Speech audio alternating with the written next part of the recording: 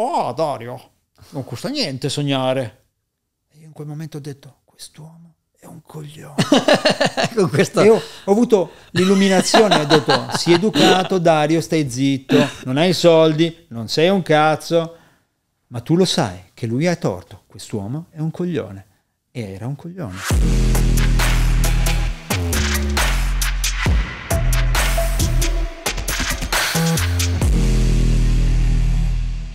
Bene, benvenuti in questo nuovissimo 1% podcast, in questo nuovo episodio. Anche oggi abbiamo un super, super, iper ospite che noi consideriamo ovviamente 1%. Chiaramente, se no non sarebbe qui. Anzi, sono onorato che tu sei venuto, ovviamente, Dario. Oggi abbiamo Dario Silvestri e Dario, come al solito, io lascio sempre la palla sul spiegare eh, chi sei, cosa fai nel mondo, che aiuti a fare cose come anche se so, no, parlando prima del podcast, che ne hai tante. Cerchiamo di capire un attimo, poi andiamo a sviscerare più nelle profondità. Allora, innanzitutto Giacomo, grazie di questa opportunità. Sì, sono venuto qua. Eh, Milano è una città che amo, ma soprattutto amo le persone che fanno risultati. Quindi eccoci qua seduti allo stesso tavolo. Quindi prima cosa... Lusingato, lusingato. Assolutamente. Vorrei aggiungere qualche zero, quindi uno 0.01%. Questo non te l'aveva ancora detto uno, perché 1% dai è qualcosina che è, è troppo, possiamo, è troppo facile. Possiamo fare di meglio. Ah, ok, sono d'accordo, sono d'accordo. A parte questa che una delle cose che, dire, che mi chiedono quando, uh, che ritengo più difficile quando Dario, ma tu che lavoro fai? Prima di tutto mia madre da una vita mi dice ma tu che lavoro fai? Quindi se non l'ha ancora capito mia madre è, è forse perché o è difficile da capire o forse perché non lo voglio dire io. In ogni caso ci sono tre aree molto importanti eh, diciamo della mia vita professionale. Una è, è, quella che forse conoscono più persone perché sono un autore di bestseller, ok, questo è un po' lezioso detto così, però era tanto per, visto che ci sono i libri buttati lì. Eh, mi occupo di performance, nel senso che mi occupo soprattutto di problemi legati alla performance nel mondo dello sport professionistico, quindi cerco di sbloccare il potenziale di soggetti, giocatori di, di calcio, giocatori di, di, vari sport, ma soprattutto anche di eh, C-level persone dal, nell'ambito delle, delle Piccolo aziende. spoiler, faremo alcuni nomi no? di quelli che segui, Senz'altro, si, si possono fare, giusto alcuni nomi? Quindi. Senz'altro sì o forse no, ma comunque... Ascolta il podcast, poi vedrai. 100% infatti e quindi mi occupo di sbloccare il potenziale di queste persone sotto vari livelli, senz'altro diciamo che vanno dalla, sull'ambito piuttosto mentale, sulla prospettiva soprattutto della capacità di acquisire o meno, anche se nel 99.9% dei casi vengo chiamato per problemi. Mm. Eh, questi non sono soltanto i problemi dei calciatori, sono anche i problemi di chi è proprietario di una squadra di calcio, quindi ho iniziato a lavorare nell'ambito eh, clinico della performance, spostatomi sull'ambito mentale e della performance, anche perché le cose non si scostano poi così, eh, non sono diametralmente opposte, sono assolutamente qualcosa in linea una con l'altra, e dall'altra parte poi ho iniziato a lavorare con la proprietà delle squadre, perché le criticità, le difficoltà e i problemi ovviamente non sono soltanto di carattere eh, legati al gioco, assolutamente mm. sì, ma sono molto molto più ampi. Mi occupo anche di negoziazione e mediazione, soprattutto in in, ambiti di grande criticità, quindi acquisizioni, piuttosto che successioni familiari e quant'altro. E diciamo che questa è una delle cose che faccio soprattutto perché mi piace farla. E quindi quello è il Dario, quello che chiamo il performance coach, quello che è eh, mentor o quello che è l'autore. Anzi, mia madre mi ha detto, hai scritto due bestseller, ok, tu sei uno scrittore.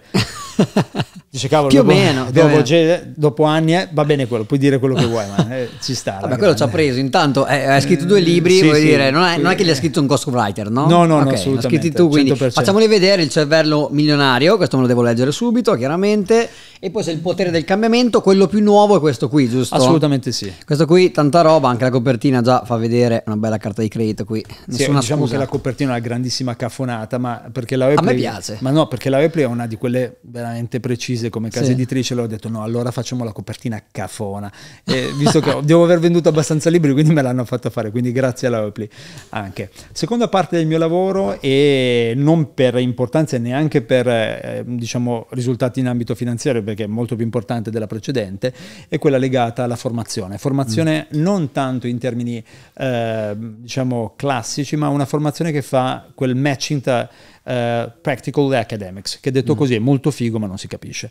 Uh, l'università tradizionale è capace di fare corsi molto belli, molto importanti, con professori molto uh, riconosciuti, ma spesso non riesce a seguire i trend del mercato, spesso non riesce ad andare in quel gap specifico. Possiamo dire che molte università sono indietro di 5-10 anni in alcuni io casi. non mi permetto di dirlo perché sono partner di oltre 50 università, mm. quindi non, non lo, lo dico io allora. ok, però assolutamente sì, anche di 20 o di 30 lo dico tranquillamente. Allora abbiamo creato delle istituzioni di carattere universitario, delle higher education institution, dei college verticali che fanno delle cose molto specifiche e agiscono in maniera molto concreta con accreditamento, cioè uscite poi con una laurea vera, non quindi quindi si tratta di istituti universitari internazionali che ovviamente non sono solo in Italia, ma sono, sono, in giro per Europa e anche non solo, e siamo in grado di dare dei prodotti che siano disegnati sul mercato, disegnati oppure sulle competenze necessarie per mm. eccellere in quella professione. Wow. Parliamo di health sciences, quindi nell'ambito della salute, abbiamo, nell'ambito medico abbiamo molte, molte cose, in realtà è una delle nostre expertise maggiori da cui siamo partiti,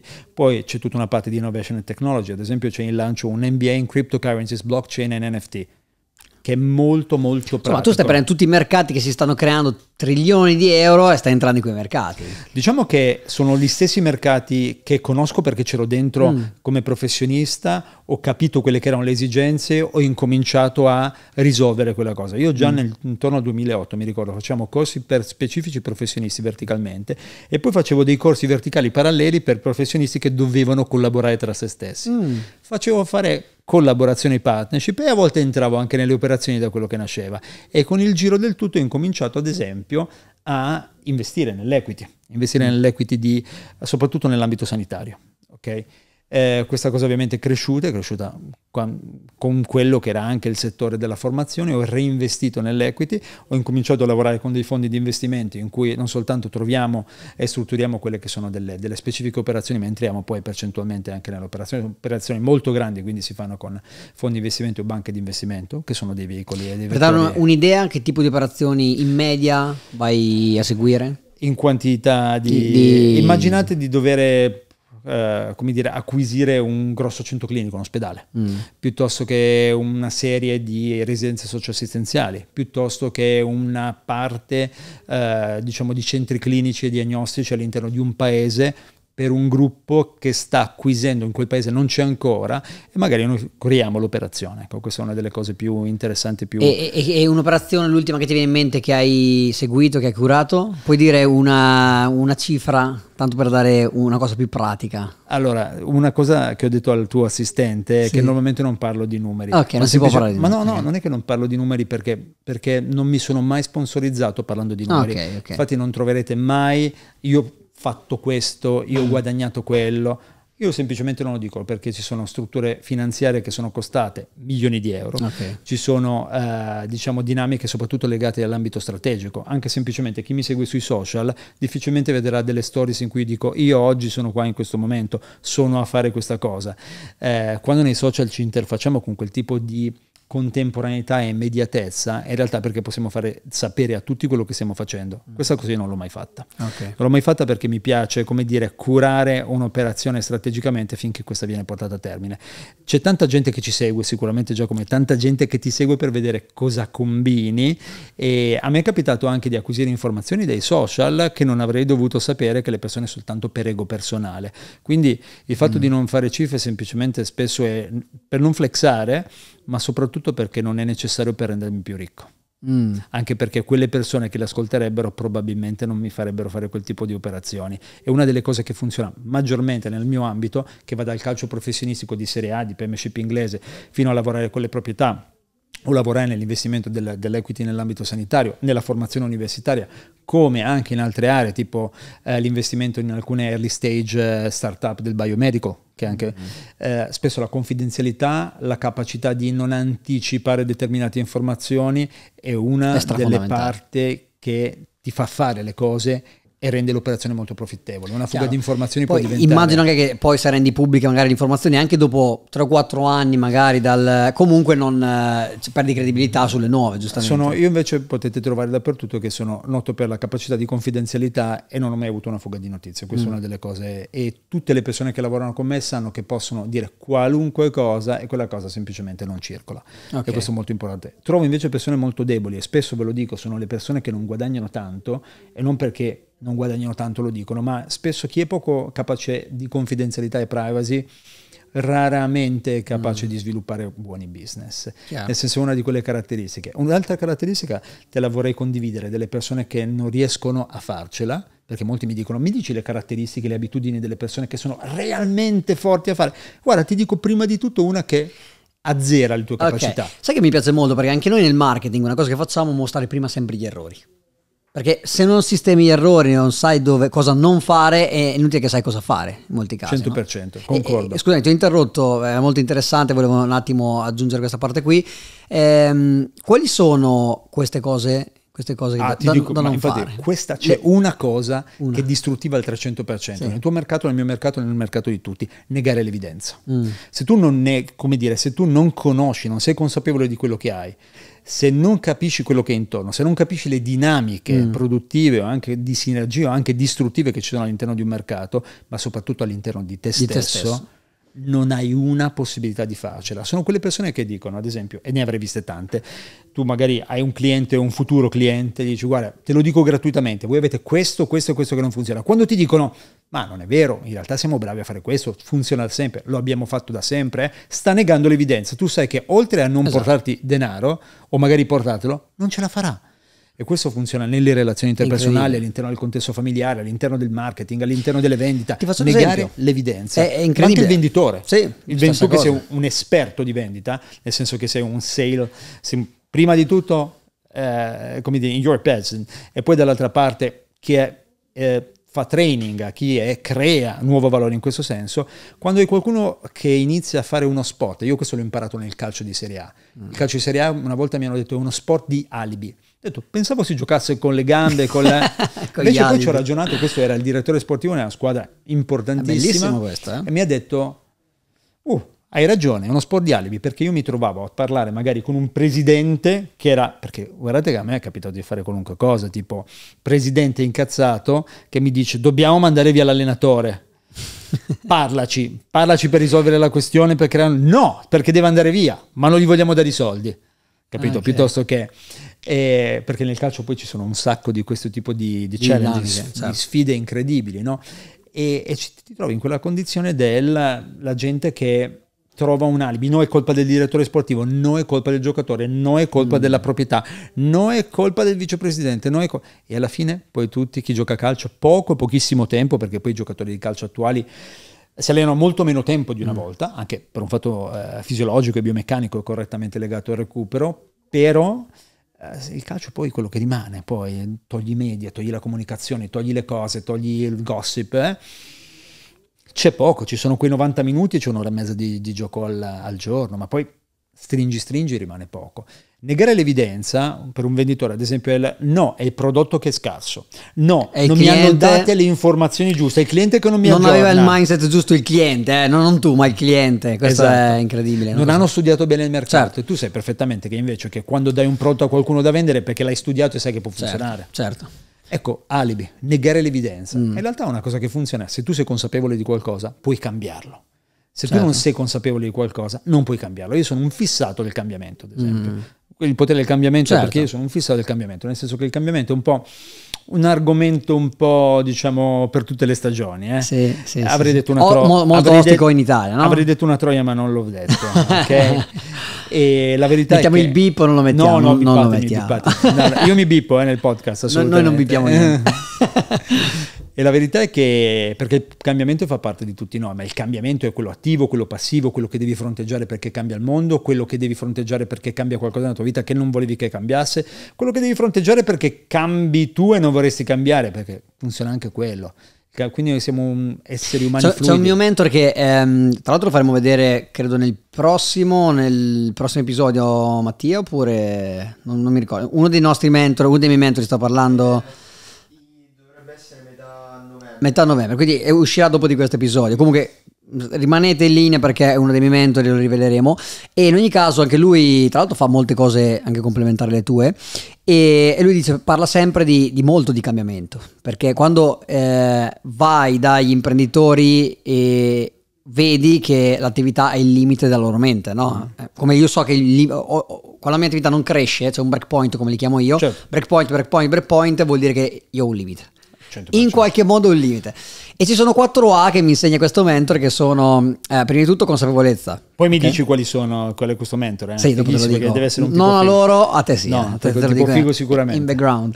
Comunque, ehm, c'è la prima A, acknowledgement, scusami il, il, mio, il mio, inglese, e vedo che è il tuo perfetto. E poi c'è scritto accept, la seconda accept. Ho vissuto buona parte della vita all'estero. Fantastico, vedrai la mia intervista con lui, quindi mi correggerà anche l'inglese. Ok, Comunque, quindi abbiamo detto che non è italiano. Ed è un English speaker. È, è americano, ah. è americano, è americano. Quindi questo te lo posso dire, americano. E poi c'è, quindi accetta, e poi c'è agisci e attacca. Quindi prima devi essere consapevole che è un problema. Quando Secondo, accettarlo. Come? No, quando l'ha scritta questa cosa? Quando l'ha scritta? Sì. Ma credo che l'ha dicato un po', sinceramente. Un po', quando... no, perché c'è un pezzo del libro che c'è scritto. Ah, e non so chi sia. Stessa però, cosa. Top. Sì, allora lui segue molto John Maxwell, quindi eh. non so, probabilmente un po' una corrente, no? Comunque questa, questa parte cibernetica abbastanza noto. È, è, abbastanza noto, esatto. E, ehm, e, e, quindi prima di tutto devi comunque sapere che è un problema e secondo accettarlo. Perché poi agire e quando capisci come agire, velocizzare l'azione è più facile, ma le prime due, sei d'accordo con me, almeno credo. Sì, c'è anche la decisione, più che altro c'è un'altra, ti aggiungo, ti aggiungo una P, mm. che è il perdono. Nel senso che dopo aver accettato cosa è successo, non perché sia un fatto passivo, mm. ma perché devi accettare la realtà per cambiarla, devi perdonare te stesso, perché nel 99% dei casi hai fatto degli errori, mm. ti stai criticando profondamente. Ci sono due grandi motori trainanti che spaccano i tuoi risultati. Mm. Uno è la paura del fallimento Due è il senso di colpa. Nessuno parla del senso di colpa perché è una cosa poco da, poco ganza, no? Po- poco figa, poco attraente. Invece il senso di colpa ti fa fare lo stesso che mm. eh, con quale tua moglie ti fa fare esattamente quello che vuoi, o mia moglie, okay. e, e la paura, che unitamente la paura del fallimento è incredibile. E poi abbiamo, come dire, un testamento del, del passato, che è la paura del fallimento per gli uomini, maschi, eh, di genere maschile o come dire che si ritengono tali, la paura del fallimento è una delle cose con cui vieni cresciuto. Tuo papà ti dicevi se non fai questo sarai un fallito, certo. devi trovare una professione, devi essere bravo, se no gli altri ti mettono... Invece le donne dicono o presunte tale, che si ritiene tale, no, sul serio, e mm, se fai questo poi ti criticano, se fai quest'altro poi sei una donnaccia, se fai... E quindi il senso di colpa, pam, pam, pam, pam, pam, mani e piedi legati. Ora però è molto più equilibrato. L'uomo mm. ha anche il senso di colpa e anche la donna ha la paura del fallimento, quindi siamo quindi, alla pari. Tutto iperequilibrato, tutto all'ennesima potenza. Soprattutto in questo caso le inculate, nel senso, e questa roba, ti, finché tu sei ingabbiato qua, è come se tu vivessi in una sintonizzato sulle AM, presente mm. FM AM, sì, no? Sì. Ok. E tu sei sulle AM, sei sintonizzato su una lunghezza d'onda che non è la tua, e quindi lavori per paura di qualcosa o per evitare la paura di qualcosa e dall'altra parte cosa fai anche? Non fai altro che cercare di assecondare gli altri per essere accettato, non umiliato, mm. non trattato ingiustamente, non rifiutato, non abbandonato, pam pam pam. E alla fine cosa succede? Succede che vivi una vita che è distante dalla tua. Non fai un cazzo, questo è molto importante, e non fai mai... Oh, che poi anche non, non, un... non, è mai la tua priorità a te stesso, esatto. e invece quello che dobbiamo fare è sbloccare quell'area, cioè dobbiamo dire, ok aspetta, effettivamente non ho nessuna colpa, è la paura ok, ma fallire non è un problema, il problema è andare in quella direzione. Ti avvicini a te stesso e scopri che forse puoi andare sull'FM, puoi switchare su quella lunghezza d'onda e a un certo punto, a un certo punto puoi decidere realmente qualcosa per te e entri in contatto col tuo potenziale e scopri che hai un potenziale, perché nella vita cosa ti dicono? Eh, questo ego vola basso, piscia corto, stai fly down sì, cioè, siamo cresciuti sul stai calmo, sì, sì, non sì, esagerare, ma chi ti credi. Ed è bello quello che Invece dici, no, mi, mi, ci rivedo veramente tanto perché da, da, quando, allora io sono cresciuto che sono, io sono un driver, come te, no? Probabilmente. Eh, sono quello che vuole fare sempre di più, è il primo della classe, io volevo arrivare sempre primo, studiavo le materie che mi facevano cagare per arrivare primo e basta, volevo essere il primo, voglio essere il primo, oggi voglio di tutto, voglio tutte le aree della vita. Fino a 18-20 anni ascoltavo quelli intorno a me che mi dicevano, ogni volta che provavo a fare qualcosa, oh basta, sempre Giacomo, di qua, di stai, stai, giù, stai, ah, chi te lo fa fare, ma non andare oltre, ma lascia, ma non ti va, quando abbastanza è abbastanza, no? Alla fine ho detto, ma che cazzo me ne frega di questi, verso 23, 22-23 anni eh, ho cominciato a cambiare, a switchare, studiando, eh, Mm. perché questa voglia di crescere non c'era, ho cominciato a incularmi, tanto, cioè, Certo, sì, sì, sì. parola- parolacce ormai puoi dire vaffanculo, vaffanculo, vaffanculo. A questi, ne- a questi vi dico vaffanculo, vaffanculo. Nei miei eventi, questa è una cosa che Mm. poi dobbiamo fare un evento a questo punto. eh, Piccolo altro spoiler. un vaffanculo serio. Io penso che per caricarmi e stare in linea con tutti, è successo a Lisbona con un gruppo incredibilmente figo di ragazzi fortissimi, sono state 2500 persone sedute. La prima cosa che dovete fare, mi dite un bel vaffanculo, perché se io non mi faccio mandare almeno vaffanculo da 2500 persone in presenza, un migliaio online, non mi carico abbastanza. Quel vaffanculo non è un vaffanculo a me, ma è un vaffanculo Certo. a quelle abitudini, a quelli che ti hanno detto che non ce l'avresti fatta, a quella paura, a quel senso di colpa. A un certo punto devi scaricare del peso. Io ho una, si chiama teoria del vacuo del vuoto di Mr. D. Mr. D sarei io praticamente. Ah, a un certo D. punto, sì, esatto. Eh, ad alcuni piace chiamarmi così, altri mi chiamano Doc, Alti Darione, quello che vuoi, insomma. Ehm, la verità è che per fare e acquisire qualcosa nella vita di nuovo devi fare spazio nella tua vita, quindi devi creare il vuoto, se no è come se tu avessi un appartamento pieno di immondizia, no? E a un certo punto dici, cavolo, voglio fare entrare qualcosa di buono. Prima c'è puzza e secondo non c'è spazio. Certo. Quindi o porti fuori l'immondizia o ti attacchi a cazzo. Qual è quel libro One Minute Manager che dice quella cosa cinese per sistemare la casa? E quella era qualcosa. Marie Kondo, credo, Ah, mi sa di sul... co- però bullshit. Mm, Ok, bullshit. Quindi non eh, tutte cazzate. No, ok. nel senso, Marie Kondo è una figa. Lei ha venduto tipo 100.000 milioni di libri, è una, è una riorganizzatrice, Mm. è quella che è il nuovo concetto, sai, dell'ordine, il fatto del eh, dare un senso alle cose, del salutare Mm. le cose che non ti hanno già... Cioè, su una liturgia del distacco, no, un genio, assolutamente un genio. Però questa, ad esempio, nei libri io non faccio citazioni. Mm. Cioè, perché? Quindi copia, non citi. No, no, perché i libri fatti con la citazione bella, paragrafo, rielaborazione di un pezzo di Tony Robbins, poi quell'altra cosa, poi ci Copia e metti un di Tony Robbins ne abbiamo visti tanti. Sì, eh. e poi fai, madonna mia, ne fai un altro pezzetto. Io ne- non ci sono citazioni perché l'ho scritto io il libro, Certo. punto. Lei ha ricreato tutto quanto, come No, me. Cioè, allora io dico, non ho mai inventato il marketing e le vendite non l'ho inventate io. Certo, Una cosa che ho inventato- fatto, un 20% l'ho inventato io di quello che ci ho messo dentro, sicuramente. Cioè, magari Ma la, la cosa il 50% di quel 20% l'avevano già fatto, Certo, sicuro. ma non in quella maniera, non adattato, Esatto. non in italiano. È il framework, è l'ordine, è il modo in cui fai le cose, le spieghi, le chiami che fa totalmente la differenza. Quindi quali citazioni devo mettere? Quando copio e incollo uguale, cito se c'è bisogno. Chiaramente, anch'io ho pochissime citazioni, siamo molto allineati su questo, proprio per lo Io stesso motivo. Eh, beh, Io, No, tu, tu, tu hai zero, zero, eh, io, zero. io ne ho meno. Devo leggerlo, ancora devo leggerlo. sono Cioè, cervello nominale è zero. e- Ah, ok. e, mh, poi in realtà dobbiamo spoilerarvi, stiamo per fare un circolo, il Golden Circle dei pelati. Bellissimo. Eh, siamo io, Giacomo, c'è Jeff Bezos ovviamente. Jeff Bezos Eh, e, e- e tre che si allenano con me. Stamattina sono andato ad allenarmi alle 6 in palestra. Arrivo io, sono pelato con la barba come te. Arriva il secondo. quello di. Brazzer, eh, comunque. Eh, quello di Brother. Eh. C'è anche quello lì, la categoria bold. Comunque, detto questo, eh, ti chiedo una cosa perché è, è bello parlare, andiamo avanti, avanti, avanti, fantastico. Ti chiedo far- fare un passo Vai. indietro. Tu hai un'expertise incredibile, molto di quello che hai detto la invidio, sono sincero, sono, sono molto sincero. E hai solo 6 anni Io più no. di me, hai 6 anni più di me. Eh, come dicevi prima, eh, non si vede l'età perché siamo pelati, quindi eh, si vede poco. Eh, quello che ti voglio dire, da, da dove sei partito? Diciamo, dammi in 3 minuti, 4 minuti la tua storia. Come, come hai fatto? Prima hai ehm, anticipato qualcosa, insomma, prima l'hai fatto tu come professionista, ma da dove sei arrivato? Cosa hai studiato? Come, come- cosa ti ha portato a investire, a gestire operazioni di private equity anche importanti? Poi anche, nel senso Mm. che quando erano scarse non si chiamavano non mi hai detto le cifre, quindi non so, No, è posso- relativo. eh, Ti posso dire che, no, nel senso che ti posso dire che quando erano scarse non li chiamavo di private equity. Ok. Ho Ho comprato un centro, era un po' più così, Ah, ok, cioè, ok. un po' più... ho, po' più ho di- rilevato quel centro fallimentare. Sì, è un po' più, un po' più ridimensionato. Allora, eh, più che altro ti do dei- delle note salienti che possono interessare a te che ci stai ascoltando, che ci stai guardando, anche perché se ti, insomma, passaggi divertenti mancano.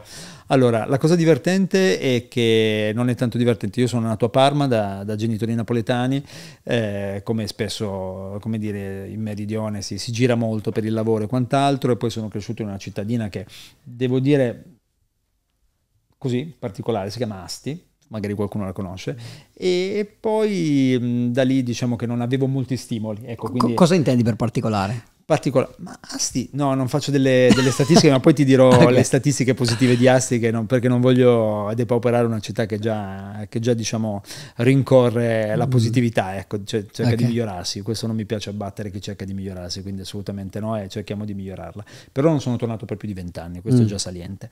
Io un giorno sono andato via, eh, nota divertente, sì, uh, driver, ok, però io uh, l'ultimo anno del liceo scientifico credo di aver fatto quasi 100 giorni di assenza. Mm. Io ero già in uno stato mentale che ero già andato via praticamente. Cioè, già, già, volavi? Una famiglia non particolare, mm, non lo so, ma non ero lì praticamente, non, non perché avessi diciamo delle qualità particolarmente eccesse, ma secondo me non avevo nulla da perdere. Questa è stata una delle caratteristiche fondamentali più belle della mia vita soprattutto. Non avere nulla da perdere all'inizio e fare un, uh, un all-in più volte, mm. perché mm. partendo da poco è facile fare all-in. Considerate che io ho fatto circa 13 anni e mezzo, 14, lavorando 7 giorni su 7 eh, non vi dico quanto era al giorno, ma non, se ho lavorato 12 ore mm. era niente, ok? okay. Se ne ho lavorate ti, 15 Ti sei pentito 16, di questa parte qui? No, bellissimo, assolutamente, mm. mi, ha, mi, ha, dato la struttura. Cosa mentale. ne pensi quando? Perché io dico molto spesso... No, ma per farti capire, 41 settimane all'anno, mm. 7 su 7, ma di lavoro con le mm. persone, vero? Certo. E vuol dire che in quelle altre, eh, come dire, 11 settimane, ti garantisco che io non sono un fan del Natale. Adesso mm. vabbè, con figli e robe del genere, uno è un pochino più fan per quello, ma per il resto per me è sempre stato bullshit. Anche perché vengo da una famiglia che non è particolarmente supportiva, mm. una famiglia disgregata, non ho mai avuto dei riferimenti, cioè mm. all'interno del mio contesto familiare non ho mai avuto riferimenti. Mm. Mio padre, visto poche volte, parlate meno, eh, mia madre col suo percorso comunque o dei, mm, diciamo sì, assolutamente, perché per molto tempo, come dire, anche se non, non ci sono stato, non ci sono cresciuto assieme, comunque sono eh, fratelli, diciamo, soltanto dalla parte di, di, mio padre, non ho, diciamo, condiviso tante cose per tanti anni, poi abbiamo condiviso anche delle cose, sono persone a cui rispetto, che rispetto, che voglio bene, ma che, che onestamente, diciamo, mm. insomma, eh, se ti dovessi dire che proprio la texture familiare è un'altra cosa. Nel okay. senso, quel, okay. perché posso dirti che quella l'ho avuta dopo. L'ho avuta da persone che sono arrivate dentro la mia vita, sono persone che eh, ci sono volute stare e mi hanno aiutato a, mm. a, capire cosa voleva dire essere famiglia e viceversa sono persone che io ho una struttura un pochino eh, diciamo molto dinamica sotto il profilo certo. familiare non è tanto quella del sangue per quanto io abbia una, una, famiglia molto numerosa tantissimi cugini e quant'altro però se ti potessi dire quanto è stata importante la famiglia nella crescita per mettermi alla prova quella di sangue dici è stata importante per mettermi alla prova certo per insegnarmi. magari che, quella che ti ha dato la spinta. Sì, insegnarmi a non avere paura di mm. certe cose e insegnarmi che da solo avrei potuto farlo. Mm. Perché quando non hai supporto, la lettura dall'altra parte è impara a essere forte, certo. impara a farlo da solo, tu puoi farlo. Mm. Anche perché dall'altra parte io sono nato abbastanza ottimista. E quindi, anche se succedeva qualcosa di brutto, io mi ricordo la mia infanzia non particolarmente divertente, io facevo una cosa, a proposito di Maxwell, che era una sorta di visualizzazione. Certo. Io quando avevo 6 o 7 anni, mm. nessun, immagina, situazione proprio male, male, io andavo a dormire, ovviamente non era facile dormire in quelle condizioni, allora guardavo il soffitto e mi inventavo una vita buona, che avrei avuto una vita buona. La vision, la tua vision? Sì, sì, no, inventavo proprio una visualizzazione di, mm. come, di, cose della mia vita positiva, che poi è una cosa che adesso è andata molto di moda, io la facevo già a 6-7 anni in maniera, si chiama sopravvivenza. Certo. Però la sopravvivenza poi quando la porti a un certo livello, con un certo tipo di commitment, di dedizione, diventa successo, risultati. Mm. E quello senz'altro è stato il Kickstarter. E quindi tu sei andato... Vi- Sono scappato in Svezia. Dopo la scuola? Eh sì, sono scappato subito, praticamente sono stato un po' in Italia, poi sì. sono scappato un po' in Svezia. E ah, in perché Sve- la Svezia? La Svezia eh, perché era un posto incredibile, no in realtà ero, ero, in, ero, in, un campeggio in Francia okay. e, e, tu sai perfettamente che vieni da città di, vicino a sì, città di Castello, eh, che non è che avevi le, le, ragazze che ti inseguivano, credo, mm. proprio a città di Castello. No, no, quanto, no. Ne, nemmeno da fuori. no, ma dico normale, no? Eh. Assolutamente. E c'erano queste ragazze bellissime, carinissime, a cui piacevano questi tamarri meridionali, un po' noi. L'italiano meridionale. E diceva, madonna mia, dice, e, dicevo, quanto è bello quello. Ho detto, ho detto questa è una nicchia. Una c'è, nicchia incredibile. C'è per me, inesplorata. Esatto, allora ho detto andiamo a visitare questa tipologia di audience. Sono stato un pochino, eh, non meno di un, ah, sì, un annetto, guarda, mm. eh, parlucchio ancora un po' lo svedese, nel Ah, senso sì? che non quanto lo parlavo allora, però è- lo, diciamo lo capisco qualche, E- e- mi so esprimere con qualche... Uno dei calciatori che segue Ibra per, per caso? No, no, no, no, per quanto ci sono passato anche da Malmo, come tu sai Ibrahimovic non ha bisogno di nessun mental coach. È lui il mental no, coach. lui mangia i mental coach. Eh, garantisco che è vero, nel senso non è- sicuramente non ne ha bisogno. Se esce qualcuno che dice io sono il mental coach di Ibrahimovic, sicuramente va a casa sua una mazza di bolle e farebbe anche bene.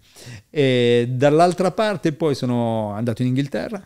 eh, perché mi ero annoiato della Svezia perché era un po' troppo politicamente corretto, tutto PPP, molto carino. Poi era buio presto, si fa buio presto in Svezia, no? Ma anche in Inghilterra, è se vero, posso dire la verità, ma anche in Piemonte non è male. eh, d'inverno Anche è- qui a Milano non è eh, che- Diciamo esatto, esatto, Sì. però a Milano fa più freddo e c'è più umido, giusto perché si dice così eh, sempre. Eh, devo dire la verità che da lì eh, mm, vi voglio dare dei note salienti, decido di fare un percorso di laurea lì, faccio delle cose, però mi devo mantenere. Mm. Allora, molto divertente, facevo una cosa che è una delle attività, non sono mai stato tagliato per fare il cameriere, perché diciamo che dopo 4-5 ore di fare il cameriere avevo già delle idee del non funziona qua, dovremmo fare così. Ok. E quindi immagina dire a un manager, sei appena arrivato, un pivello di 19-20 Poi anni. capirai il dice- manager lì, ristorazione. Sì, cose, sì. dici guarda che sono venuto qua quando tu hai... Cioè, no, dici, ma secondo me se dovessi fare così, vedi che se gli parli così non funziona, così.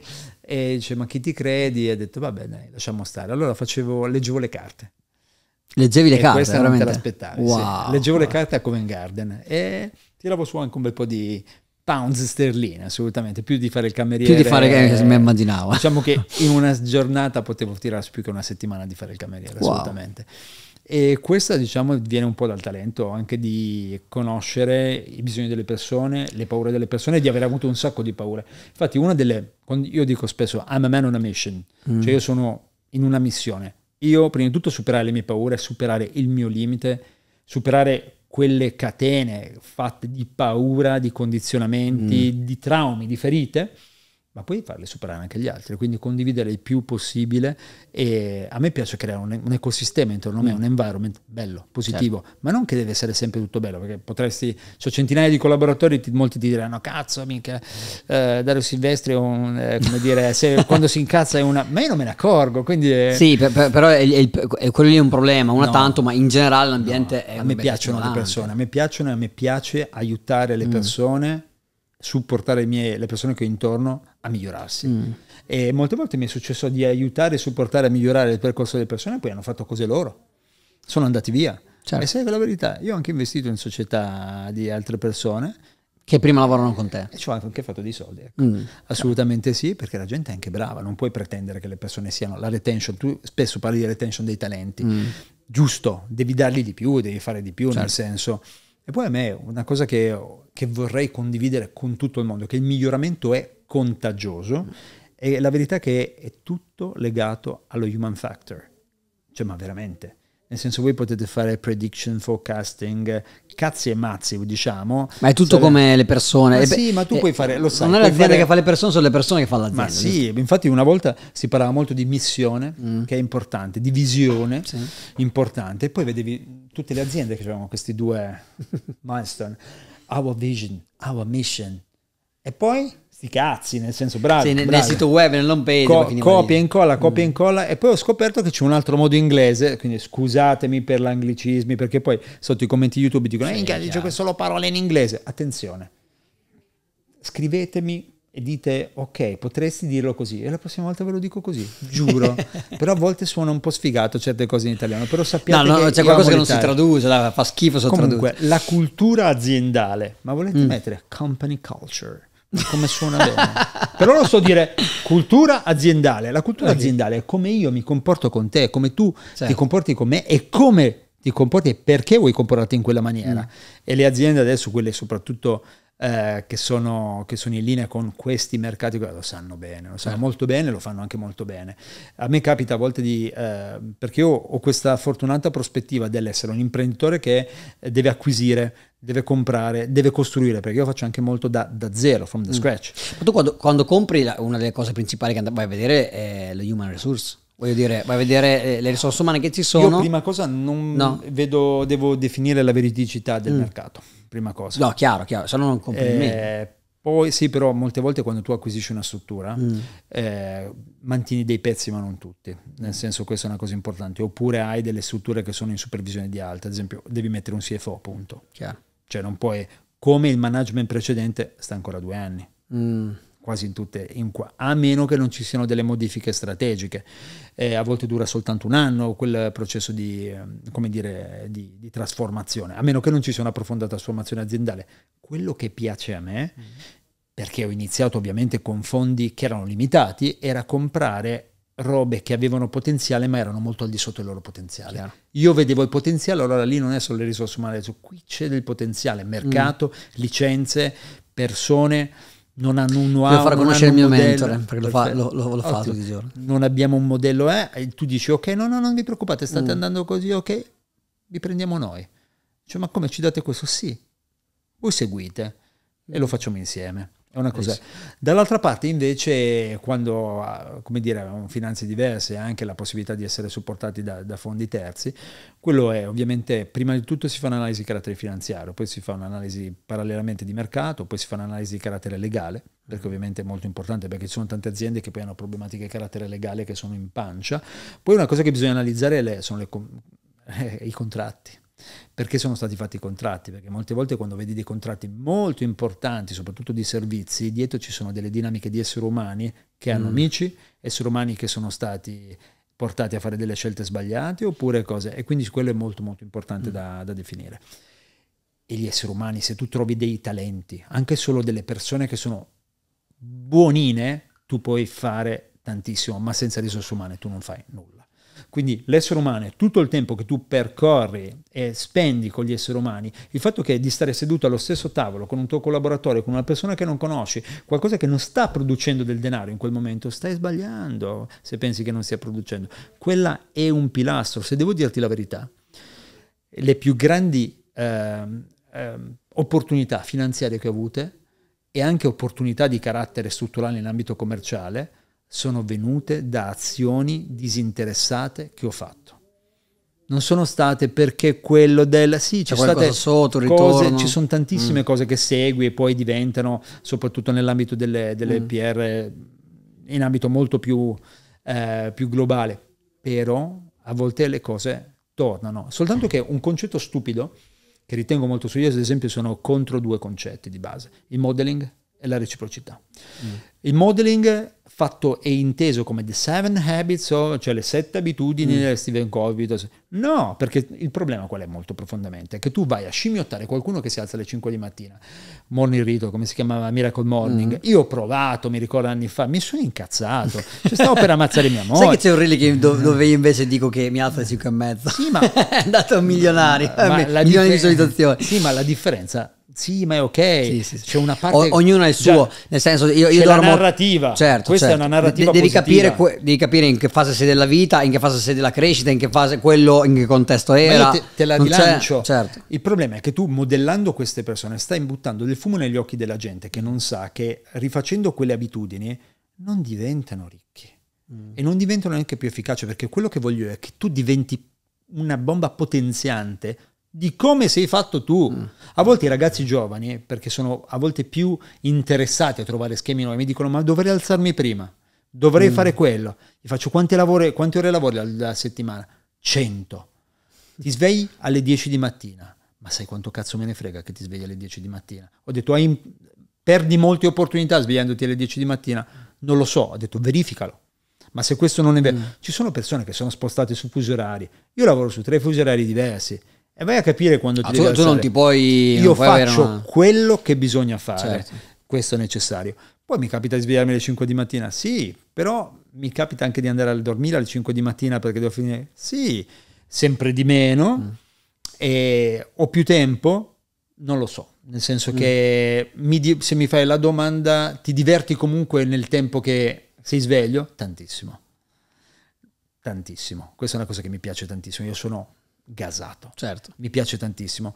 Quando mi sentirò Cioè, di... non- è, è brutto dividere il tempo libero da quello lavorativo. Cioè, il- io quando mia figlia mi dice tu vai al lavoro, papà, no, vado a divertirmi, come quando tu vai a scuola a giocare con gli amici, cioè è la Beh, se, stessa se hai cosa. figli sai perfettamente che quando vai a lavorare, soprattutto se hai figli piccoli, e probabilmente stai andando a prendere un respiro di sollievo. eh. Cioè, sì, eh. sì, sì, un pochino sì, anche perché mia figlia, eh, dico sempre, ha bisogno di me di quelle due ore al giorno, poi eh, mi manda a quel paese, dopo un pochino, papà, devo giocare, vattene. Cioè, io sono, a sono anche laureato in psicologia, ma non sono un pedagogista, quindi non, eh, però so che dei pedagogisti ci stanno guardando e sappiamo che non è vero. Giacomo lo dice per un fatto istintivo, ma non sta promuovendo nessun tipo di cattivo comportamento. Non vi preoccupate, è sotto controllo. Comunque, detto questo, eh, eri in Sve- in Svezia per quella cosa lì, giusto? Quindi... Poi, la- poi in Inghilterra. poi in Inghilterra. Poi in Inghilterra incomincio Perché alla- l'Inghilterra? Vai in Inghilterra. Eh, L'Inghilterra perché ero un pochino... era- esatto, prima mh, bazzico nel Kent, nel Kent era veramente tremendo, poi vado a finire a Londra, Mm. università, cartomanzia e quant'altro,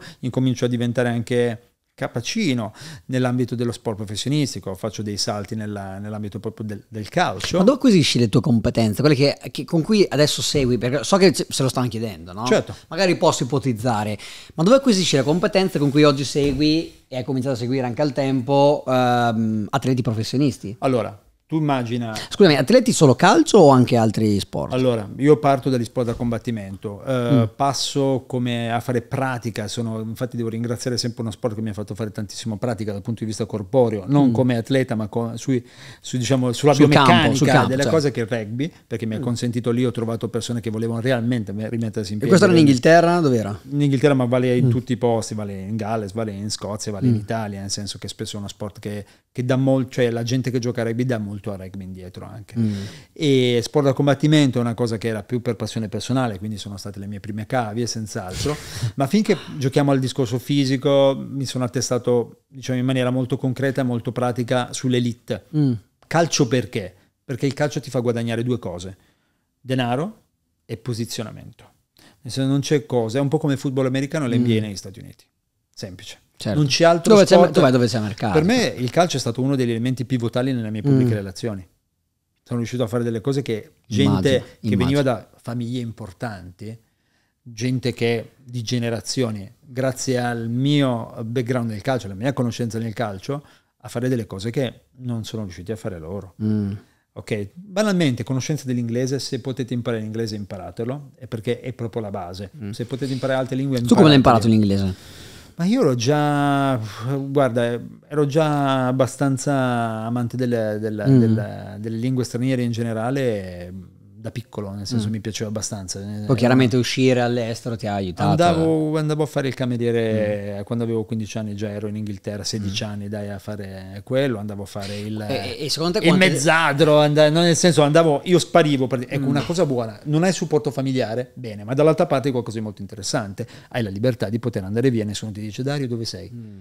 Ah, Dario, ecco, dove sei? Cioè diverso, due o Certo. tre settimane dopo. E questo mi ha portato a poter fare molte Mm. esperienze. Infatti, per quel periodo della vita, per un gran periodo, una delle cose che ho fatto di più è viaggiare. Ancora adesso io sono un tizio da circa 100-120 voli all'anno, più o meno. Tipo una hostess. E quanto è stato determinante? Uno, da 1 a 10, viaggiare per quello che stai facendo adesso. Due, la lingua. Allora, la lingua è stata imparata ed è diventata qualcosa di fondamentale soprattutto viaggiando, poi ho imparato altre lingue, tipo il francese, nel senso che uso poco ma è una cosa, e impari a esprimerti tante lingue, lo spagnolo, il portoghese, lo svedese, nel senso poi il svedese l'avevo dovuto eh, dire, imparare anche un po' realmente a scuola.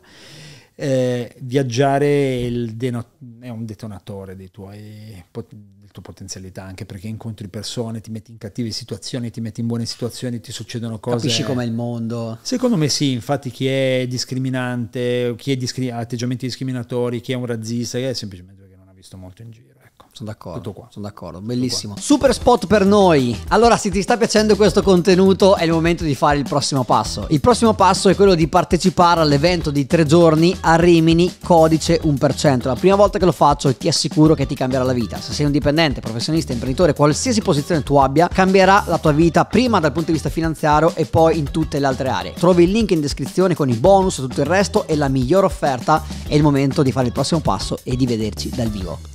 Clicca qui. Quindi tu hai cominciato a seguire questi, questi calciatori, mi hai detto, eh, in Inghilterra. Sì, E, i primi erano inglesi quindi o Eh, italiani? Svedesi, inglesi, sì, diciamo Ok. un po' non italiani. No, italiani no, assolutamente no. S- Subito categorie elevate oppure sei partito da... Sono- con i calciatori intendo? Posso dire che ho sempre lavorato con calciatori di, di Premiership o di Serie A. A volte ho lavorato anche, diciamo, facendo lo sgobbone. Ora non posso dire la squadra perché sennò mi sputtanerei. e però una volta mi ricordo ero a Reggio Calabria. Mm. Nel senso che mi ricordo se era il 2008, 2009, comunque c'era Regina Calcio che era in Serie A. Ero lì per fare supervisioni di determinate cose, mi ricordo c'era eh, questo presidente mitico, non so se è Lillo Foti, ora non so cosa facciano. Stanno sicuramente nel tessile nell'abbigliamento, ma non credo nel calcio. Non ho idea della Regina Calcio dove sia adesso, ma era stato un ambiente super ehm, ospitale. Questo senz'altro molto bello. E, e mi ricordo che ero lì e mi ricevo una, una chiamata dall'Inghilterra.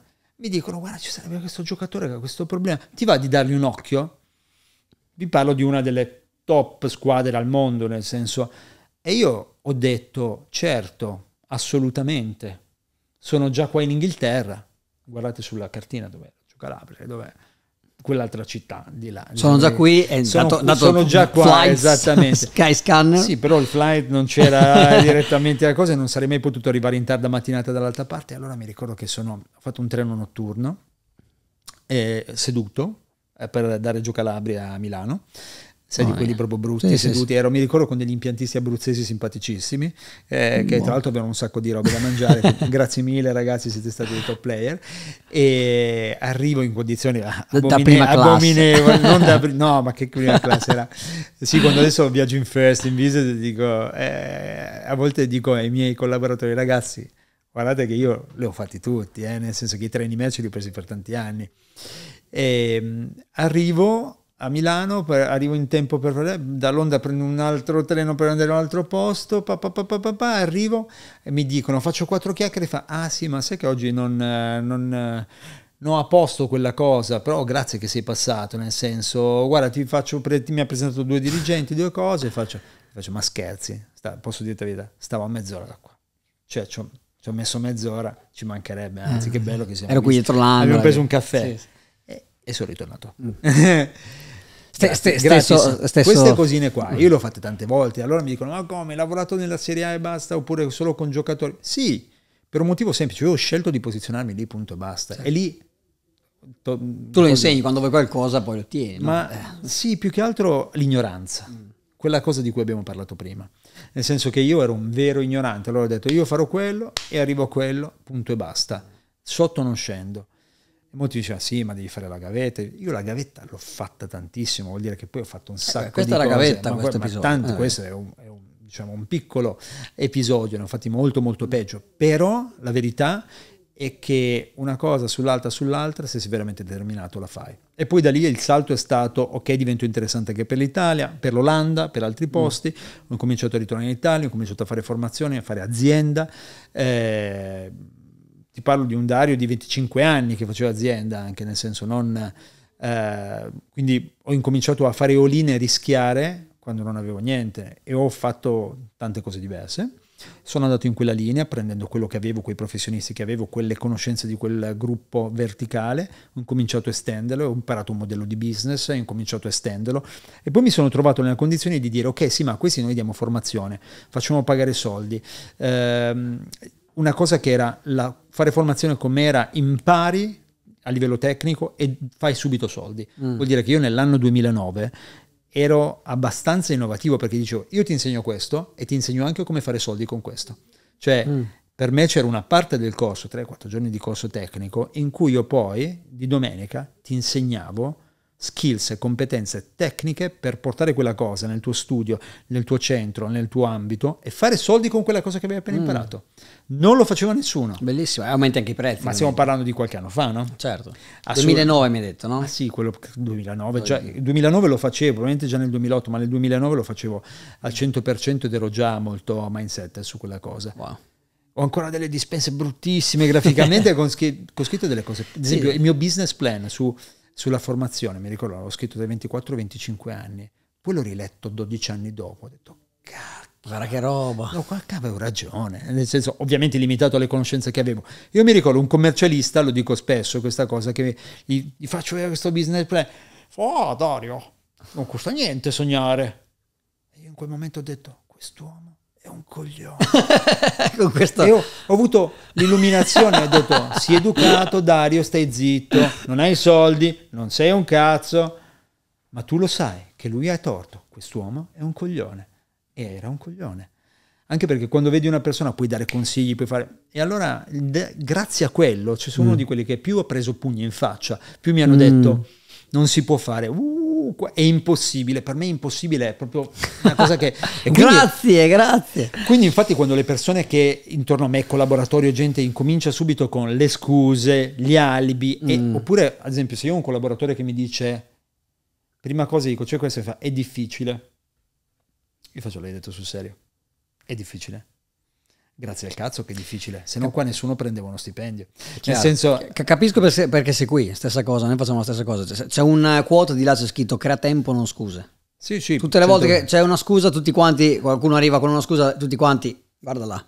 Sì, sì, sì. sì concordo pienamente, totemica la cosa, mi piace moltissimo, però è così. Mm-hmm. E allora quando vedo la gente che ho dovuto imparare, mi pare che fosse l'anno 2012, che non tutti potevano migliorare.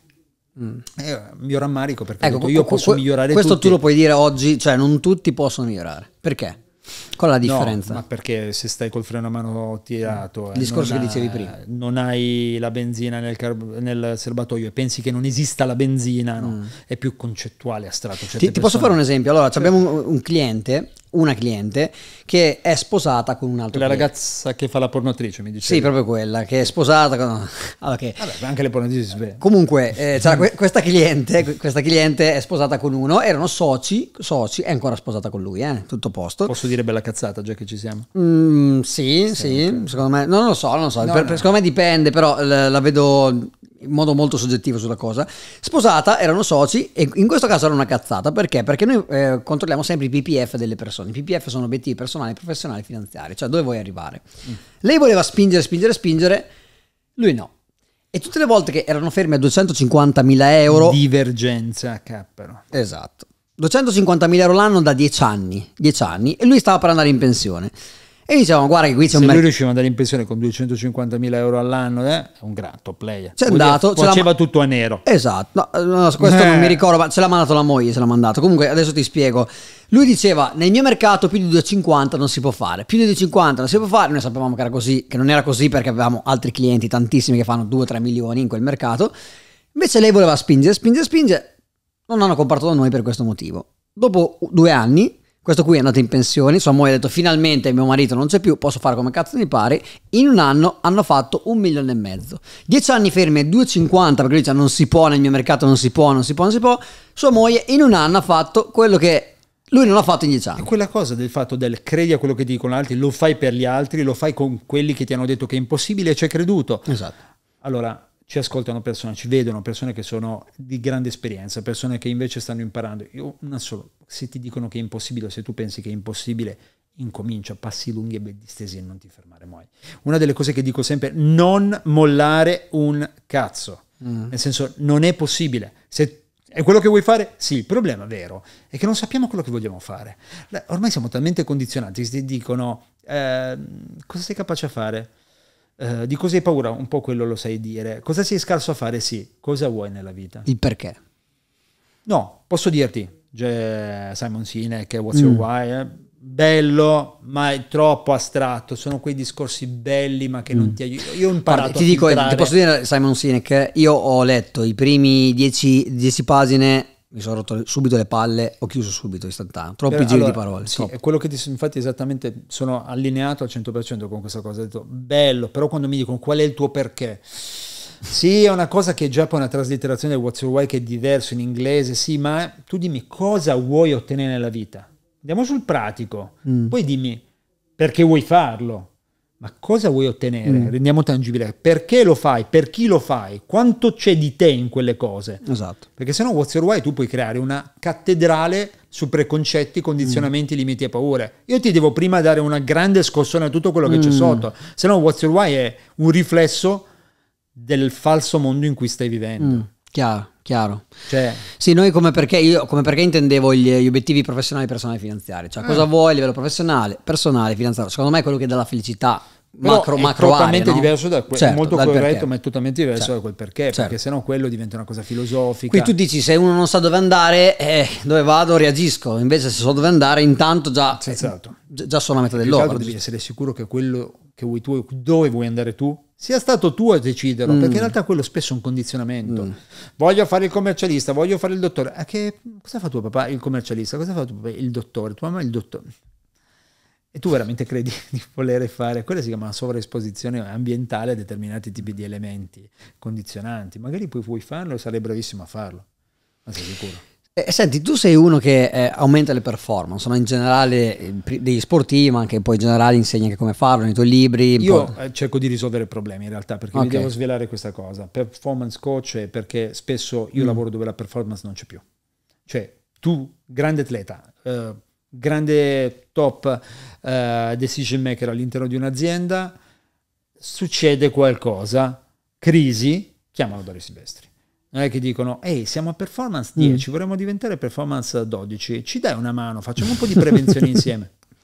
No, ti dicono, abbiamo un problema, Ma quando parli di prevenzione tu io dici che faccio co- crisis management prevalentemente. co- comunque servirebbe anche la prevenzione, tu saresti utile anche nella prevenzione, giusto? Sarebbe essenziale. la Sarebbe essenziale. Sarebbe essenziale, potrebbe la, la- le potenzialità a un altro livello, però un la- è giustamente è un fatto finanziario. Chiaro, Ti chiamano quando... Chiama quando c'è un problema, perché dobbiamo lavorare su dei problemi che non abbiamo. Anche se ad esempio ci sono dei casi, ad esempio anche nel calcio adesso, in cui se si fosse lavorato un po' più sulla prevenzione e il supporto, ragazzi, avremmo avuto meno problemi, Mm. che diventano poi problemi globali. Chiaro, chiaro. E senti, cosa fai quando prendi questo- questa crisi, eh, ti chiamano per questa crisi, prendi una persona, metti una persona, cosa fai con questa persona, generalmente? Prima di tutto cerco di capire la... È, è come quando fai equity, devi capire la veridicità della situazione, nel senso chi cosa dice come e quella persona in quale prospettiva ha un problema, perché molte volte ti dicono che hanno un problema, cioè il giocatore X ha un problema, ma in realtà poi il giocatore ha un problema su un altro livello completo. Quindi dobbiamo prima di tutto mettere a nudo la verità. Mm. E non si fa, poi è molto difficile all'interno del dell'ambito del calcio, ma anche nell'ambito delle aziende. Non puoi, ad esempio, mi ricordo, stavo parlando con questo top, un imprenditore veramente top, e mi fa... Era andato proprio a ruota libera, stava mettendo a fuoco problemi, cose. A un certo punto poi si blocca e fa: Però che cazzo vogliono? Io fatturo 2 miliardi e mezzo, che cazzo ne sanno? Allora, no, zio, stai tranquillo, respira piano, stavi andando bene, lo so che 2 miliardi e mezzo e quindi nessuno ti può dire niente. Capito? È molto complesso, perché Certo. quando è una persona che gestisce 2 miliardi e mezzo all'anno è garantito che abbia talento, capacità, visione, non l'hai ereditato, anche perché se erediti una cosa dura un anno, il secondo anno sei fottuto, quindi parli di gente, quindi devi portarli da un livello alto a un livello alto alto con le loro capacità facendo una gincana tra quelle che sono determinate ferite e quante altre cose. Io devo cercare di ottimizzare, sviluppare e fare quell'unlock del potenziale, ma non posso andare a pigiare tutti i punti dolorosi anche. Mm, certo. Ad esempio, molti parliamo di salute mentale. eh, io lavoro tantissimo e suggerisco tantissimo lavoro con psicoterapeuti, psicologi, ehm, psichiatri, eh, neurologi e neuropsichiatri, quanto è necessario. Nel senso, sono persone, professionisti di grande competenza e che devono spesso accompagnare Mm. tutto un percorso che dura magari anni. Ok? Io mi Certo. occupo di fare funzionare meglio le cose, andare a prendere degli elementi e farli ribaltare, magari e ribaltare dei paradigmi per farli trasformare, cose, eventi negativi. Però spesso è un lavoro anche che viene fatto coordinando diverse- diversi sforzi, perché molti mi dicono, no, no, quello lo deve fare... lo psi-". No, il psicologo deve esserci, deve fare un determinato lavoro, ma lo psicologo deve fare un lavoro anche di grande etica e deontologia professionale. Io sono un cowboy su quello, nel senso, io, tu mi dici che vuoi raggiungere un risultato, lo raggiungiamo. Mm, Poi dall'altra parte spesso c'è bisogno di altro. chiaro, E chiaro. poi è sempre l'essere umano. E senti, eh, a questo punto ti chiedo, chi stai seguendo? Che si può dire? Si possono fare dei nomi che stai seguendo di persone conosciute? Guarda, io questa cosa te la, te la lancio sulla, è come dire, su un... eh, sono, sono diverse, già gli imprenditori non te li posso dire, Mm, ma semplicemente per cioè i grandi level, no, ma perché sarebbe, sarebbe la fine del mio rapporto professionale. certo. Eh, ho lavorato con veramente tanti calciatori, molti sono noti e, e altri ci lavoro, ci devo lavorare, ovviamente sono situazioni Mm. sempre di crisi molto delicate, quindi è molto complesso. Però facciamo una sorta di spin-off ok, ci inventiamo qualcosa per fare vedere qualcosa in più, così ti do già un hook per il prossimo sviluppo. Ah, okay. Facciamo come dire uno spin-off di questa puntata mm. e dove quella che abbiamo deciso che faremo, diciamo, on the field, perché dovete sapere che con il nostro circolo dei pelati c'è, c'è, un club eh, che voi non, non potete immaginare, voi comuni capelluti non potete immaginare. Differentemente pelati.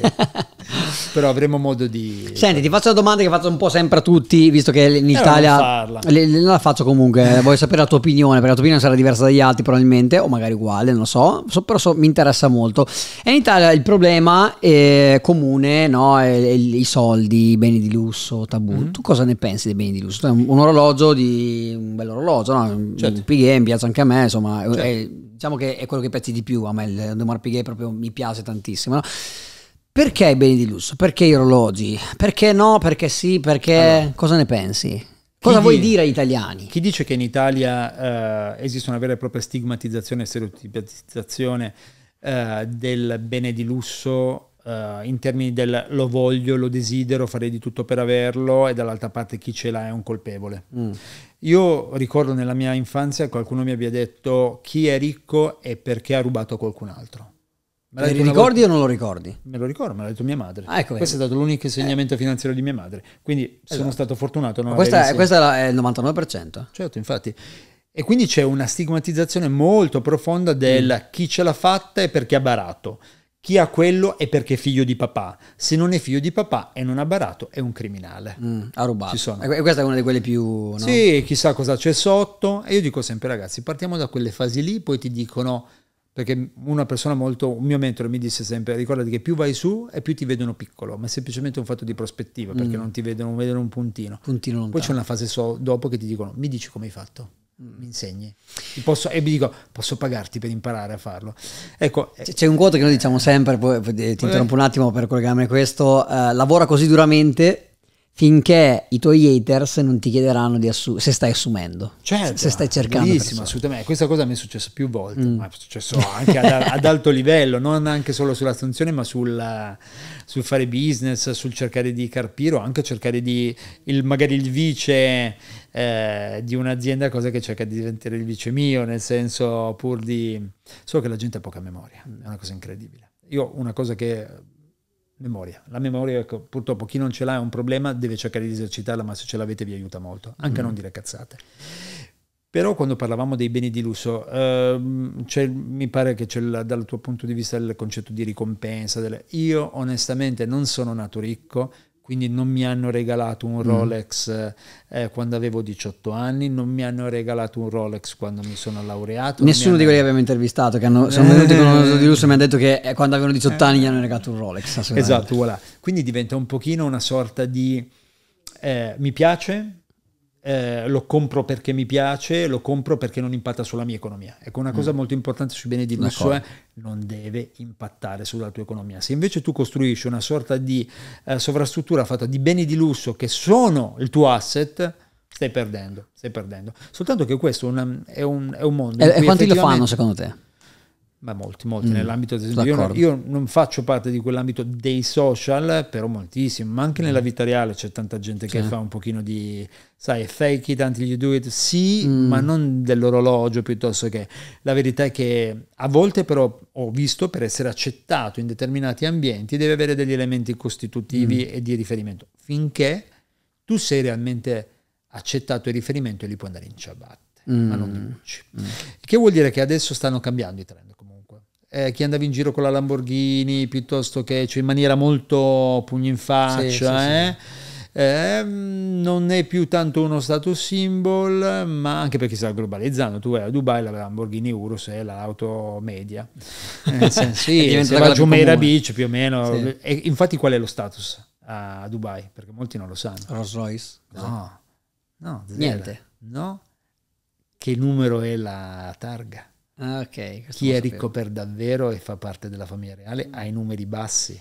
È un po' quello quindi che- chi ha la macchina numero 17, Sì. 12, loro hanno i Que- soldi quelli- per davvero. quelli No, anche se una a uno è uguale. Cioè, la gente si prosta quando vede certi numeri sulla... Una volta ho sentito Gary Vee, no? Uh, Gary Vee lo conosci sicuramente, Gary Vaynerchuk. Guarda, vi devo fare una sorpresa. Gary Vee è qua. Esci, esci. Vieni qua, tira su.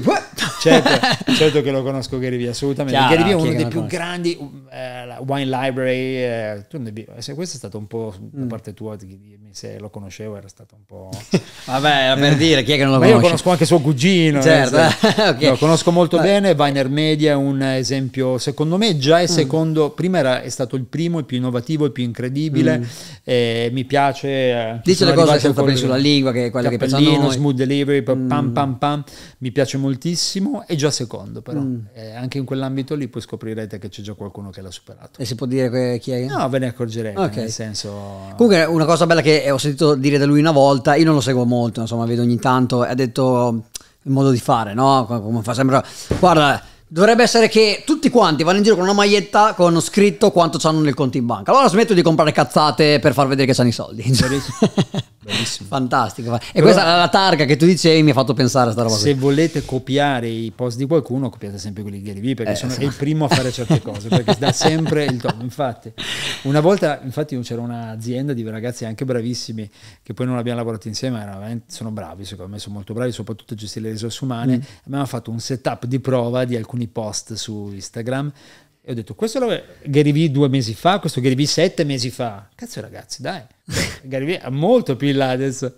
E, e ci sta assolutamente. Lui mi piace, mi piace la gente che parla dritto per dritto e per fortuna, o non so perché sono targetizzato per quello, eh, ne trovo sempre di più. Però Mm. comunque il trend non sarà più la ricchezza in quel senso materiale. Siamo per ritornare Sì. a un certo tipo di, di nudità e basicità essenziale in cui eh, diciamo saranno alti gli altri elementi di, eh, saranno anche più digi- digitalizzati. Sono d'accordo. elementi della ricchezza quindi secondo me l'orologio che è il gioiello dell'uomo è già una roba ci sarà un altro passaggio a chi si occupa di lusso ascoltatemi adesso arriveranno molto di più i gioielli da uomo Mm. gioielli in senso di gioielli Un po' Cartier è iniziato, no? Punto di vista. diamanti, eh, ma non quelli diciamo pimpati da, da rapper, che è fighissimo, ma quindi si passerà dagli orologi ai gioielli, anche perché la bolla degli orologi è scoppiata, Mm. quindi si passa a un altro girone infernale.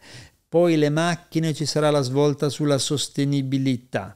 Poi ci sarà papà e comunque si arriverà ad andare molto più in bicicletta, ad andare a piede, a usare determinate cose, e però gli elementi distintivi di ricchezza ci saranno, saranno soltanto diversi.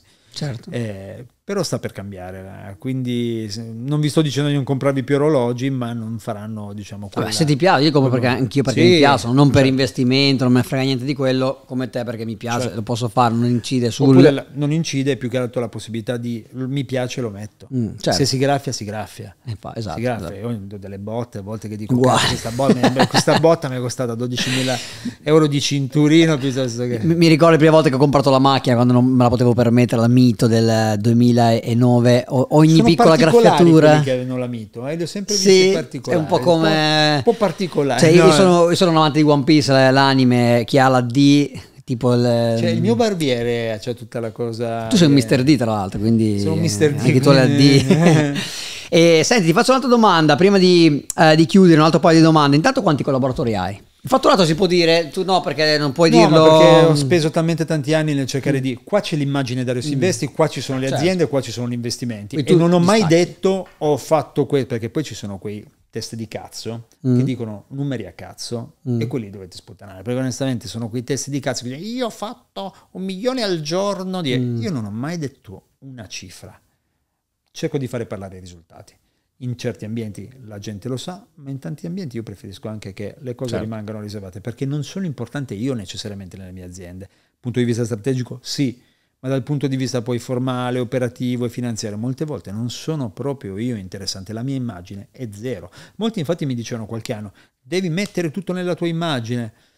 Io ho il mio personal branding, sono io, sono io, mi dà la possibilità di comunicare e comunicare senza filtri anche, la possibilità di non essere pagato eh, per mettermi qualcosa, per dire qualcosa, infatti sono molto libero su questo punto di vista questa cosa mi, eh, mi piace molto e lo trovo un lusso, invece vedo di gente che deve, deve fare quello. Per forza. Ma sapete quante volte mi chiedono di fare marchette in termini di aziende? Tante, perché sono poi aziende anche verticali su certe cose in cui potrei essere raramente rispondo, per rispondiamo per cortesia, per educazione, non... oppure il podcast. Mm.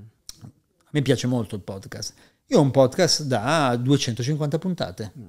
dal 2019, che ha migliaia di download, decine di migliaia, più di un milione e mezzo di download. Cioè nel senso, eppure perché non lo monetizzi? perché sono cazzi miei ragazzi, sarò libero di prendere le persone e invitare le persone che voglio, di dire quello che voglio e poi la verità è che è perché io la mia missione è sono al servizio vostro per darvi un risultato e per darvi uno strumento. E lasciatemi questa self-therapy, questa autoterapia del podcast che deve essere qualcosa di utile. Cerchiamo certo. di lasciare un testamento positivo nelle cose, non soltanto fare. E quello è il discorso della reciprocità. Chi crede veramente che io faccio questo e dall'altra parte ti do questo e tu mi devi dare questo in questa unità di tempo e se non lo faccio un problema, non funziona così il mondo. Tu dai perché vuoi dare poi torna indietro. Torno non sempre. oggi, non domani, non da quella persona. Tranquille. E il karma esiste. Sono d'accordo, sono d'accordo 100% e io la chiamo abbondanza, karma, no? ci sono tanti modi di, di comunicarlo, anche se l'abbondanza per me anche um, la legge dell'attrazione, no? la legge dell'attrazione per me legge non è legge dell'attrazione, è legge di coerenza. A me fa cagare le, anche le, le denominazioni della legge dell'attrazione. Sembra magia. Per... Ma no, ma no, ma è giusto, tu, noi siamo, c'è un'energia sottile molto importante, ma io ho visto gente mettersi lì a non fare un cazzo e visualizzare voglio quello, voglio quello, non è successo. E vedi lo scheletro dopo 40 anni che ancora ma lì. Sai perché il modeling, ad esempio, la gente rifà quelle cose che fanno mm. gli altri, solo che si dimentica che quelle persone lì fanno anche altro. Talento, sono instancabili hanno preso dei rischi incredibili, hanno dovuto spesso rompere con amici, famiglie, certo. co- hanno fatto delle cose che gli altri non avevano paura di fare. E quelle però come e fai, a, come fai esatto. a fare tutti i giorni quelle cose? E in tutto quello fanno in più quella cosa lì, cioè nel senso non è Io che fanno solo quello. Scopri il tuo talento, scopri mm. il tuo potenziale, scoprire il potenziale delle persone. Io quando la gente intorno a me diventa ricca, quando la gente intorno a me diventa capace, competente, sta meglio. Io sono me a casa, perché il miglioramento è contagioso. Per esempio, io una volta avevo visto il, il parcheggio del, dei, dei, miei collaboratori eh, di una delle mie sedi, io mi ricordo le auto di merda che avevano, cominciavo a vedere le auto che costavano, cioè, ragazzi, siete forti, complimenti. Certo. Cioè, bello, dicevo, c'è una crescita. Tu puoi pensare mica di arricchirti tu e che non crescano gli altri. Questo non esiste. Sei d'accordo che una delle, proprio citando John Maxwell, no? una delle leggi della leadership è che a un certo punto quando sei tu leader va bene finché sei da solo, ma poi per avere successo de- eh, vuol dire che devi rendere semplice il successo degli altri, cioè devi, devi interessarti agli altri, automaticamente tu hai il tuo successo, qualunque cosa sia, chiaramente se vai verso quella parte. Non posso dire niente di diverso. E senti, eh, quanti Beh. collaboratori hai, visto che hai parlato di collaboratori? Sono da, sono... Sì, è un gioco, bah, che col...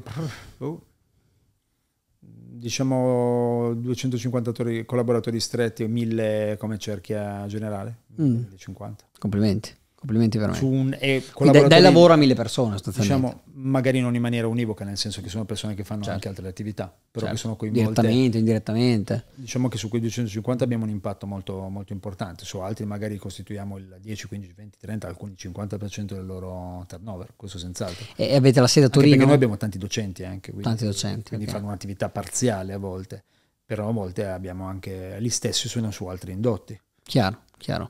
Senti, ti faccio questo l'ho, ho fatto questa domanda per far capire anche Certo. cosa c'è dietro, no? Perché sì, tu sei, sì, adesso sì. sei un uomo, no? Anche se vai sui social non si vede molto, è molto come hai detto tu improntato su di te, questa è la tua scelta.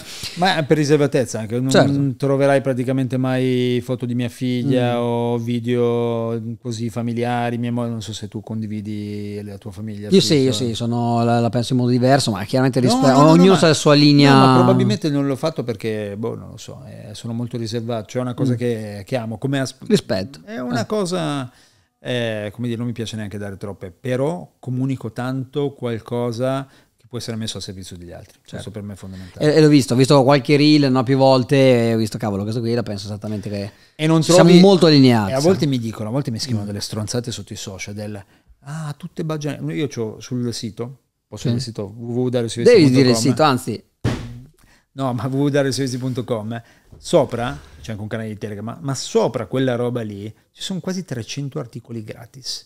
A volte questi passano nelle, nelle, advertise e la gente dice truffa, ma che cazzo sta vendendo? Cioè nel senso ragazzi, sono condivisione gratuita e non ti sto vendendo un cazzo.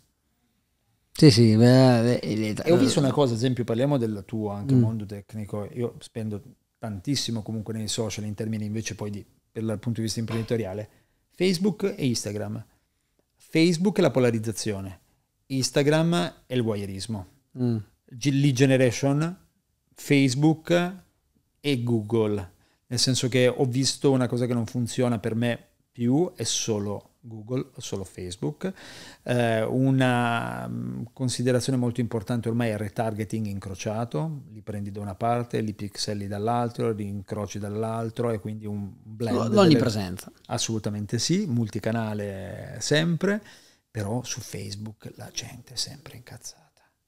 Sono d'accordo. Io ho smesso di postare su Facebook robe mie personali, mm. anche sul mio coso personale, nel 2021, credo, 2022 perché mi sono potenzialmente rotto i coglioni. Il mio ultimo post nel mio Facebook personale, quello fatto nel 2008, è una fotografia a bordo campo alle ATP Finals. Mm. Da lì in poi non credo di avere grande più interesse, quando invece posso quasi quotidianamente reel e quant'altro, io posso praticamente solo certo. reel. Ed è incazzata perché ormai l'algoritmo lavora sulla polarizzazione la polarizzazione tira. Invece questo è molto interessante. Infatti, se tu vai eh, su Facebook, vanno molto quei articoli delle testate giornalistiche. So, eh, certo. io faccio sempre nomi, ma, eh, ma ce, ce, ne sono tanti. Ce ne sono tanti che fanno tutte le stesse cose, dove ci sono quei, quei articoli di clickbait di merda. Certo. Parliamoci chiaro, perché eh, ragazzi, arti- eh, chi, chi, scrive quegli articoli, giornal- vi chiamate giornalisti. Vogliamo spiegare cosa Prendete clickbait? per clickbait, scrivi un articolo, la moglie di da da da ha detto questo quando la, e, e poi, poi apri è tutta una stronzata, invece ti dicono un'altra cosa. Quindi Lavorano su quello perché sanno che le persone lì sono da millennials in su, sono millennial, quindi lo dico, e sono quelli più, frustra- più Ma frustrati in assoluto. di spiegare cos'era un clickbait perché a volte c'è proprio poca consapevolezza mm. e poca informazione. Certo. A volte diciamo noi che eh, io volenti o nolenti ho dovuto imparare tanto del tecnicismo del marketing certo. digitale e non solo, anche quello strategico, perché per capire chi può fare marketing bene devi diventare un esperto di marketing. Certo ed è assurdo, però ok. E poi perché dal punto di vista dell'eziologia strategica, cioè da dove inizia la cosa, devi sapere dove vanno le cose, quindi devi avere responsabilità anche su quello. Dall'altra parte, bait vuol dire esca in inglese, quindi pescano il click. E e che, che, andrebbe bene se dietro poi co- sei coerente con quello sì. che hai detto. Poi invece entri e sono tutte cavolate. E ti quindi... vogliono vendere una pirofila cinese. Sì, di solito trovi le, le cure per le emorroidi come inserzioni o roba del genere. Tu lo facevi il dropshipping da bambino? No, non ho mai fatto il dropshipping. No. Non l'ho mai fatto. Dimmi una cagata che hai fatto, prego. Io, allora, le cagate ne ho fatte tante. Di quelle non illegali, vabbè, non, non posso... quelle illegali non avrei mai detto, no scherzo. Allora, illegali non ho mai fatto niente veramente, ma ho provato a vendere, e lo racconto sempre, è nata da lì la mia cosa nel marketing, ho provato a vendere delle proteine per palestra uh-huh. quando facevo il developer. E non so perché cazzo ho venduto delle proteine per palestra mentre facevo il developer, potevo vendere applicazioni mobile, ok? Uh-huh. Uh, e ho fatto questa, questa singola, mh, ho creato questo nuovo proteina per palestra. Hai, fatto una white la- hai preso una white, white label. label. però l'ho un po' modificato. White label è un marchio che fanno altre aziende che tu ci piace. Sì, però l'ho modificato, modificato un po' perché io volevo che siccome il mio personal trainer mi diceva sempre che eh, doveva, il, il, valore biologico doveva essere grande, altissimo, altissimo. Era altissimo. il 2002. Eh, quasi. Allora ho lavorato con questa azienda belga, White Label, eh, che comunque aveva un buon prodotto e ehm, io ho detto voglio un, il più alto valore biologico che, che voi possiate fare. Eh, esatto. E, e, mi hanno detto guarda, noi il più alto che abbiamo è 157, quindi l'ho chiamata ProWay 157 la chiamata, ok? E, e da lì ho, ho, ho fatto quest'ordine con quei pochi spicci certo. che avevo, avevo 7000 euro all'epoca mi sembra, li ho buttati tutti lì, non ho venduto un cavolo e poi dopo ho studiato il marketing per vendere applicazioni mobile e il resto, poi ho capito come si vendeva e un po' ne ho vendute, ancora un po' ne ho lì scadute chiaramente. Eh, puoi cambiare... Sì, cambio white label le vendo scadute. e, va bene, allora ti, ti, prima di chiudere, questa è una super intervista, intanto non vedo l'ora di leggere questo libro perché mi piace molto Ti terrei, ti terrei, qui altre due ore. E io leggerò il tuo. Assolutamente, quello eh, bisogna. Tanto lo stiamo anche riaggiornando, ne stiamo scrivendo altri due. Quindi okay, ti manderò. allora quelli. mi direi tu quelle devo leggere. Puoi leggere questo, ma ti le manderò gli altri che sono ancora più interessanti. Questo comunque ne abbiamo vendute quasi una 20.000 copie, mi sembra, nel corso degli ultimi 5-6 anni, quindi non è in, pochi, in pochissimo tempo. Ma ti chiedo, ti chiedo, perché questa è una cosa importantissima lo chiedo sempre a tutti, ma te lo Vai. faccio comunque. Certo. Cosa vuol dire per te far parte dello 0,001% per chiudere come abbiamo iniziato? Eh, più che altro avere una visione sempre più chiara, non darsi una scusa neanche all'anno, neanche una possibilità di predicare bene e razzolare bene, non razzolare male. Eh, cercare di avere risultati indipendentemente dalle condizioni del mercato, di più, meglio e ad esempio una cosa che ti dico è lo cerco di condividere ai miei collaboratori, un prodotto non è per sempre, un'attività non è per sempre, quello che faccio tra cinque anni devo saperlo già adesso. Quindi vuol dire che io per almeno due o tre anni, e questo a volte mm. mi guardano i collaboratori e dicono ma perché stai facendo questa cosa? Perché stiamo facendo, perché impegniamo tante risorse per due anni? Poi succede che al terzo anno, boom, boom incomincia a funzionare tutto adesso e dall'altra parte sfuma. Ah cavolo, meno male che l'abbiamo fatto in tempo. Grazie al cazzo. Quindi devi avere, questo per dire, devi avere visione e responsabilità nei confronti di chi non ha ancora la possibilità di vedere, ma devi cercare di far sì che anche loro vedano e quindi devi fare migliorare gli altri. Quindi se tu sei lo 0,01%, forse sarebbe figo che poi fossi lo 0,01 perché si sono aggiunte altre persone, poi lo 0,1 perché se ne sono aggiunte altre. Grazie a te anche. Bellissimo. Un'altra super definizione. Eh, Dario, è stata una super intervista come già mi aspettavo e sapevo anche perché abbiamo parlato quasi mezz'ora prima di iniziare il podcast. Quindi... Però per piacere. Per piacere, assolutamente. E sicuramente faremo hai lanciato lo spoiler, hai lanciato, insomma, ci saranno spin-off, ci saranno tante cose che faremo sicuramente e prendetevi il libro se non l'avete fatto, ma se non l'avete fatto ancora iscrivetevi al canale, iscrivetevi alla piattaforma, siamo su tutte le piattaforme, mettete una valutazione, mettete 20.000 stelle per Dario, ah, anche, per, anche per, me, insomma, siamo due pelati, stesso look, voglio dire, insomma, metteteci. C'è Jeff Bezos che ci aspetta in questo momento. E ha fatto crescere la barba anche lui, tra l'altro. Eh? Eh, Caso? Giusto perché è venuto qui in Italia da noi. Quindi, veramente, ci vediamo nel prossimo episodio e ti ringrazio Dario, alla prossima. Grazie Giacomo, ciao ragazzi.